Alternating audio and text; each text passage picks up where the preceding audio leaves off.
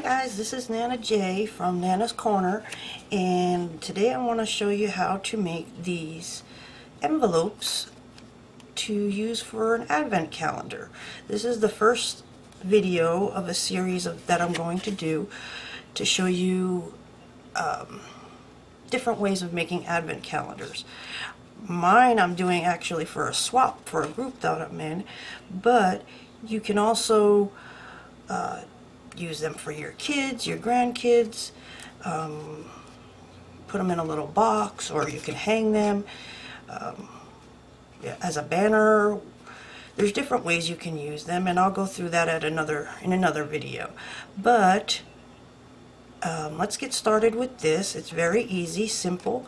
I'm going to use my envelope punch and this one is by We Are Memory Keepers and if you're interested after you can see what it can do I'll give you a link to where you can uh, purchase one. Okay so for what th for this envelope we're going to use uh, six and a half by six and a half piece of craft cardstock. You can do them any size you want. The envelope punch makes different sizes and uh, for my particular swap, we are doing a three by four and a half inch envelope, or a little bit bigger than that. Was the, that was the minimum. Um, we're going to be mailing them, so um, if you don't want to use cardstock, you don't have to. But you just afterwards, we're going to put a little something inside. So let's get started. For this, you use.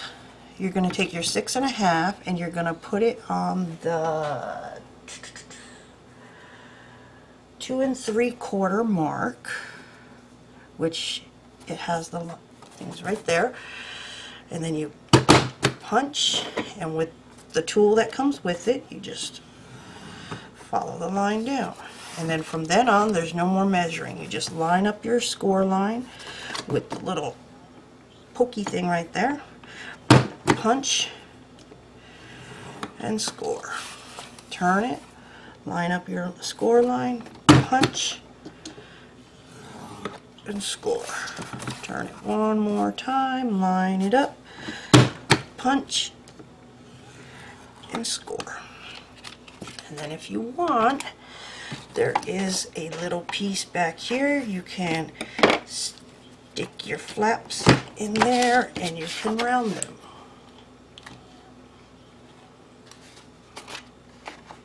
You don't have to, it's just optional. Sometimes I do, sometimes I don't. Just guess what kind of mood I'm in. And then we're done with the punch tool. Save your little pieces that come out because in another video I'll show you how to make flowers with them. Never, never, never throw anything away.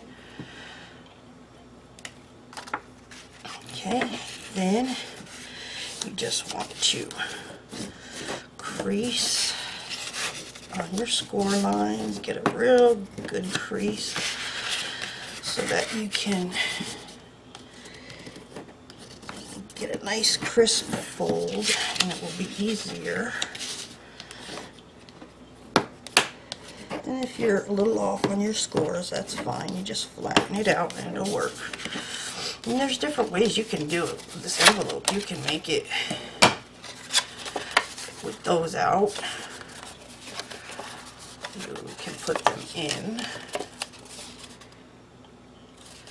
You can even, if you wanted to, make the envelope long.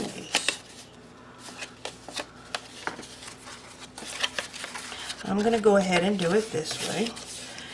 And I'm going to put my big one on the outside.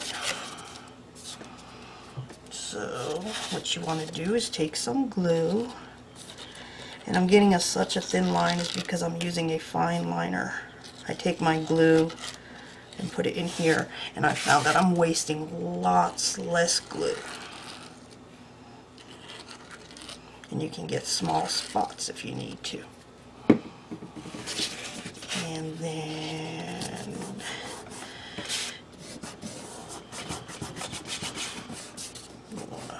press it down good. Make sure they're stuck. You can use score tape on here too if you want. Sometimes I do that.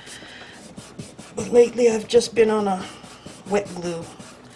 Uh, I don't know, it's kind of chilly in the room I'm at, so I might have to switch to some, score tape. Let's see, let me put a little bit more on here. Press it down real good. It's heavier cardstock that I'm using too, so. Can you see?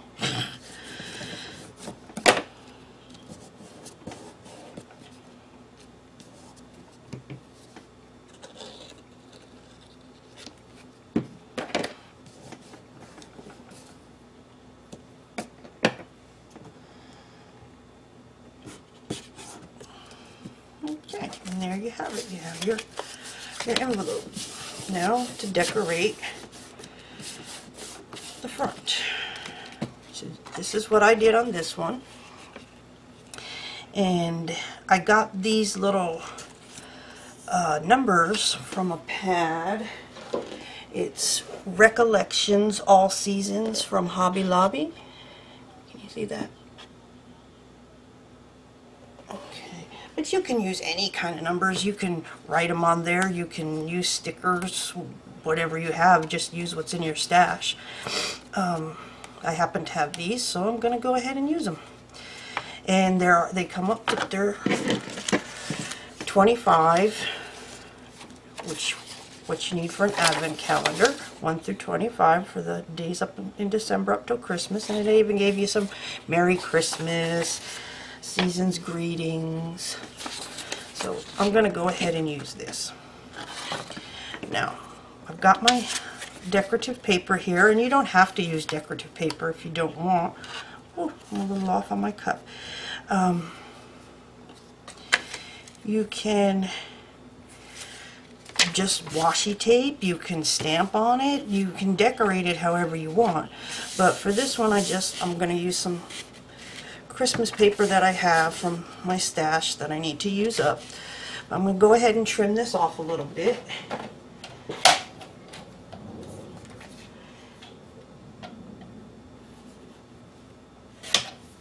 Okay, let's see, is that better?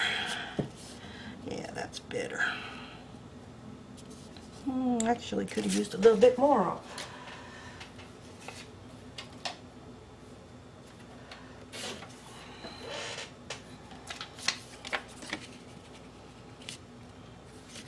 All right, there we go. All right, and then I'm, on here I have a little trim that I'm going to use, and I got this from the Dollar Spot at Michael's. It's red and white, got the little measurings. I'm, I'm going to use this little red. We just want a little bit longer than here.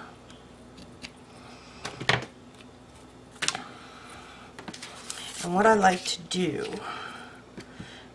is take on here, take my score tape, and just put it across the back. Are you able to see that? Sorry about that, guys.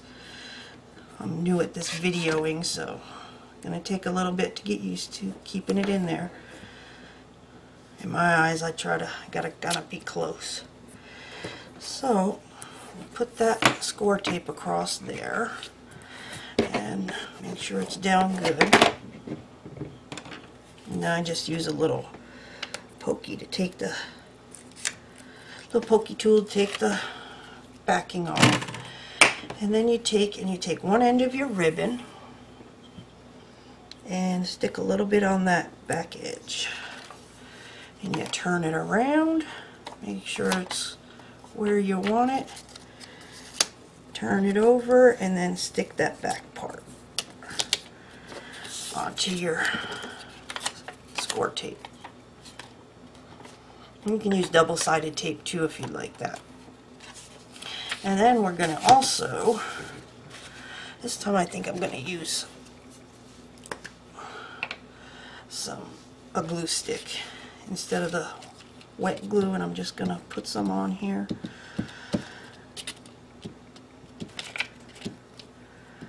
And we're going to put it, kind of line it up. And there. press it down real good. Make sure it sticks.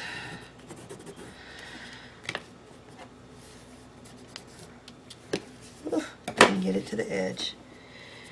Use a little glue here. Must have missed that bottom part. Sorry about that scratching. There's a little needle up on there that it comes out of that keeps it real fine. There we go.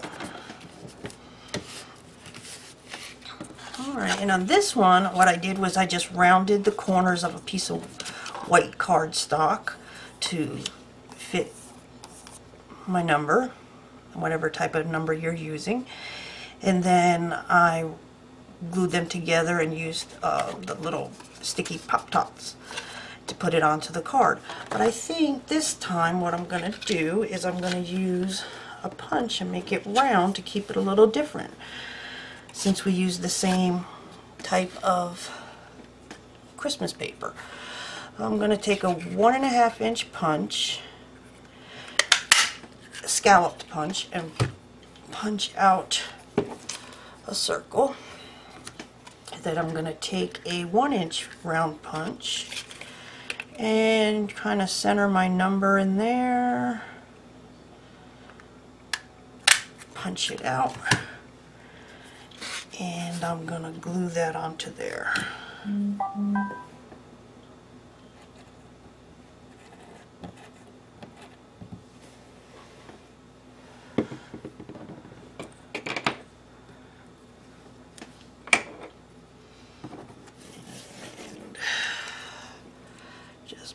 That in the center. And you don't have to use pop dots. You can just put it on there. And I think maybe this time that's what I'll do. So it's a little different from the first one since they're going to the same person. So this time I'm going to just put some glue on the back of here.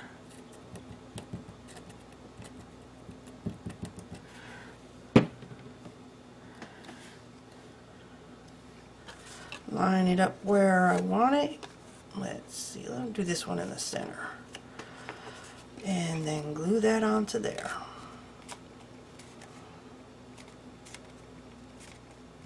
And then you can add anything else you want. You can put bling on there, stickers, however you want to do it. And you have your envelope to put a little surprise in there, maybe some stickers or some trim for your crafty buddies or for your grandkids. You could put little treats in there. Mm, you can write a letter. You can put a coupon in there for um, maybe a night out with you, um, hot cocoa and a movie, just anything you want. One for each day of the week to count down to Christmas. And then you can put it, close it up. You can either put it inside or you can seal it with a, another sticker. And that's pretty much it. And then you just go ahead and you make them for the 1 through 25 and you're all set. Well, hope you liked this video. If you did, please subscribe and give it a like. Give me a thumbs up. And I'll be back with more ways to make different advent calendars. Thanks, guys. Bye.